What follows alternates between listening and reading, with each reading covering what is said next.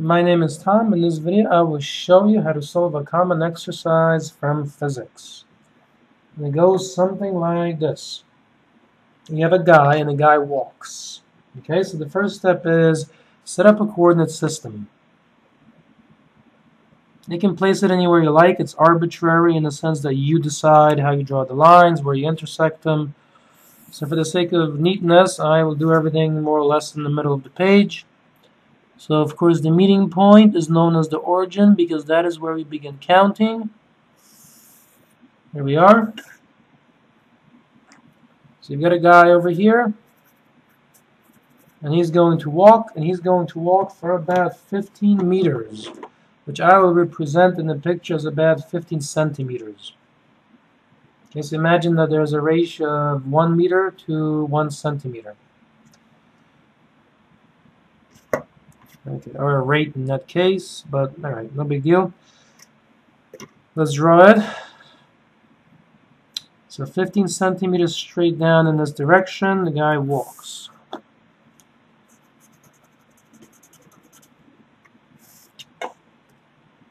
So he takes a little stroll, and he stops over here.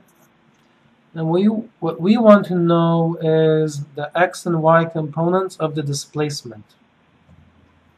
So what are the steps that we can take to solve this? Well, we are told that relative to the positive x-axis, the angle he makes is about 225 degrees. Okay, so this big angle is about 225 degrees. Okay, so it's not an arch over the guy, it's just you know our mental model here. Okay.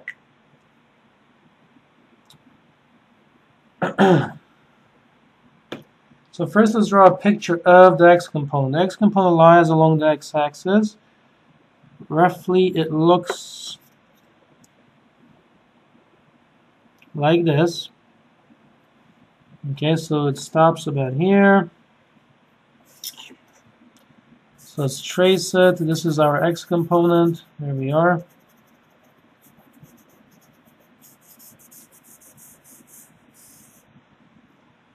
And then the y component, of course, follows straight down. So you turn here and you come straight down.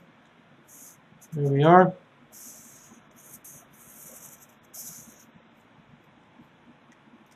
Once this is in place, you get the basic setup. And now you get to bring in trig. And in what form? Well, 225 degrees is not convenient. So what would be an easy reference angle? The way to do it is take from this big angle of 225 degrees, take away the 180. What remains is the angle I am about to highlight here. This is the angle that remains. Okay, this is the angle that remains, that angle right there. What is that angle? Well, if the whole thing is 225 and I subtract 180, what remains is about, not about, but exactly 225 minus 180 gives a balance of 45 degrees. So you will take this as our angle here of 45 degrees. This will be our reference angle. Now we cannot just use it blindly. We've got to know that because we are in the third quadrant here, the cosine function there will have negative values and the sine function also has negative values. Okay. So let's actually find the x component and the calculation is this. You're right. The x component equals the length of the displacement here, which remember is 15 meters. So it's 15 times the cosine of the angle, but we're taking 45 for the sake of ease. So now we have 15 and the cosine of 45 is of course the root of 2 over 2 but we have to keep in mind that it's got to be negative because we're in this quadrant so make it negative like this okay there you go so this gives a value here of let's take a look. Let me clear that, and then we have 45 cosine is that, and then you multiply that by 15, and it gives about 10.6 negative. Okay, so roughly negative 10.6 meters is our displacement in the x direction.